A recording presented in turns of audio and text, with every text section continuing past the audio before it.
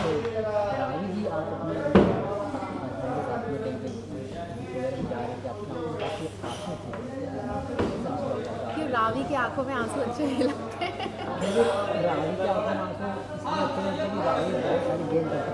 हैं, रावी रावी आँसू निकल, निकालती है लोगों के खुद के नहीं निकलने देती लेकिन हमने हमने जो अभी जो रिसेंट सीन शूट किया, उसमें वो बाबा जी के दरगाह जाती है, वहाँ पे दुआ मांगती है कि उसका जो चौथा, जो बच्चे, बच्चा होने वाला है, वो सही सलामत आ जाए। तो उसको लगता है जैसे कि हम बोलते हैं कि जो गलत काम करते हैं, उसका फल तो यही मिलता है।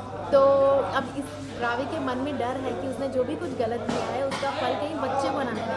तो उसके लिए वो बाबा की दरगाह में जाती है, दुआ मांगती है कि उसको सही सलामत हो जाए, जो बच्चा सही सलामत हो। तो जो उसका पति है जगन उसको रिक्वेस्ट करती है कि मतलब किसी को, अब किसी का खून करने का या किसी किसी को मारने का ख्याल भी अपने मन से निकाल दो, क्योंकि अगर ऐसा किया तो शायद बच्चे का असर हो तो रावी रोने लगती है क्योंकि जगन बहुत खड़ूस है नहीं मानता। बचाने हर माँ हर माँ करती है ना ऐसा? आपका यहाँ पे कुछ रोल तो आपका मतलब दूसरा बच्चे को बहुत ज़्यादा परेशान करते हैं। दूसरे बच्चों के लिए अच्छी बात। है। दूसरों के बच्चों के लिए बहुत दूसरों के बच्चों के लिए इतनी ममता नहीं होती ना किसी किसी को।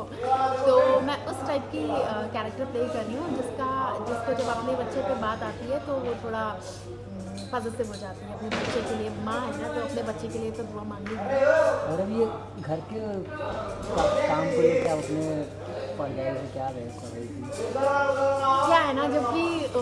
वाम की बात आती है ना तो मेरा रावी का मन नहीं करता काम करने का और मन नहीं करता तो दिखावा तो करना ही पड़ता है और ड्रामा तो रावी को करना बड़ा अच्छा लगता है तो वही कर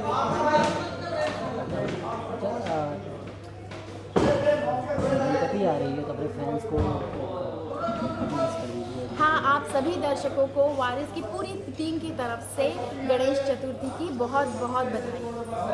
हाँ, थैंक यू